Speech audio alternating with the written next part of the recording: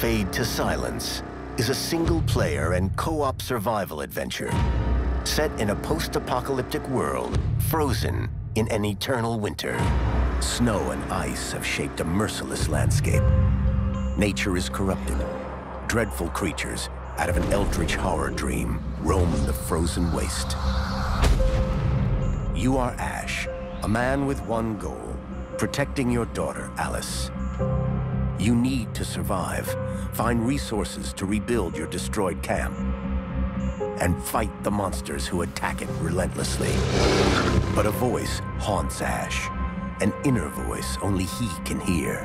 I always watching you. While he explores the ravaged land, Ash unveils pieces of his own past, how corruption spread over the earth, and about the mysterious eclipse.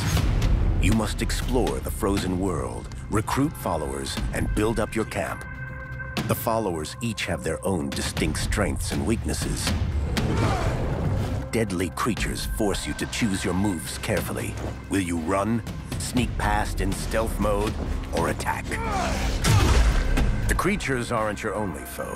The unrelenting cold, the blizzards, the snow tornadoes, they all conspire to kill. You must have food and warmth to keep from starving or freezing to death.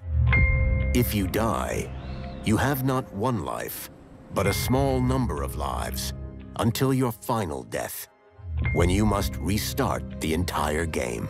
But you will hold on to some perks, making your next run easier. Permadeath with some relief. You fail.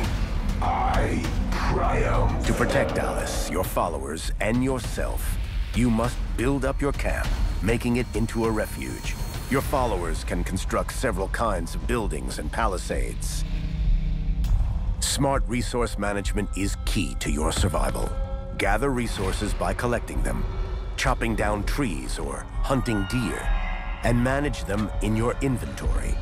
Assign followers to gather more resources, or to build up special locations, giving you more advanced equipment.